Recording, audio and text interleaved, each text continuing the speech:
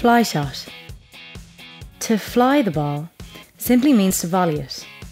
Flying the ball is an aggressive play that reduces the time your opponent has between shots, thus affecting their pre shot positioning.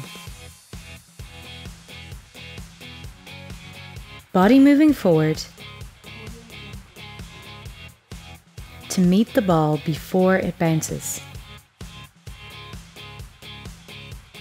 Emphasis on good anticipation.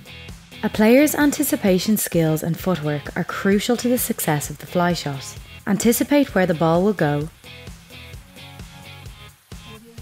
and quickly get into a good pre shot position